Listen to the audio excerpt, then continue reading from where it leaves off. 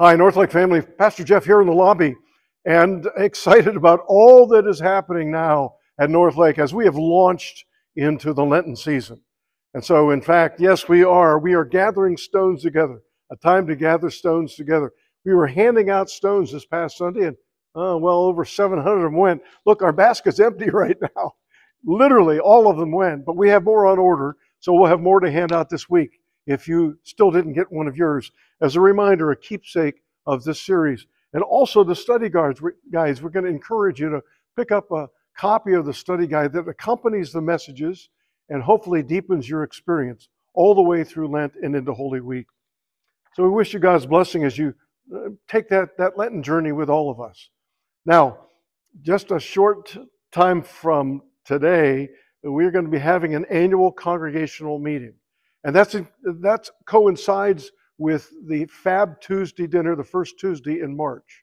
So I, I, just brought this out here as a reminder that you can sign up for the Fab Tuesday dinner here at the kiosk or online.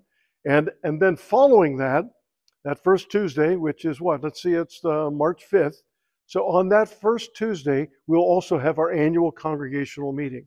And that'll be an important meeting for a number of reasons, but included in that is the election of a pastor nominating committee to look for a new pastor. So we hope you'll plan to be there, sign up for dinner, and starting this week, it's not on here yet, but it will be, you'll find a copy of the annual report for 2023 and documents that you'll want to have with you uh, for the meeting. So those will be out here and available the next couple Sundays prior to the actual meeting. Over here, I want to just point out to you, we have sign-up sheets uh, for a very special event. It takes place on March oh, 9th. March 9th. It's the second Saturday in March. And we are hosting five other congregations here on a Saturday morning to pack 45,000 meals with Rise Against Hunger. And we'd love for you to sign up to be part of that. We need 100 volunteers just from Northlake, plus probably about that many from the other five churches. So uh, it's a great opportunity for fellowship. A lot of times we think of fab fellowship where we eat the dinner and fellowship with each other. Well, here we're making the meals and enjoying the fellowship with, with other North Lakers and folks from around our presbytery. So you can sign up for that Saturday, March 9th. They're two hour shifts uh, starting at 8.30 and 11 o'clock. Hope you'll be part of it. Finally, over here, I just want to remind you that we have a, a Legacy of Hope campaign that's underway.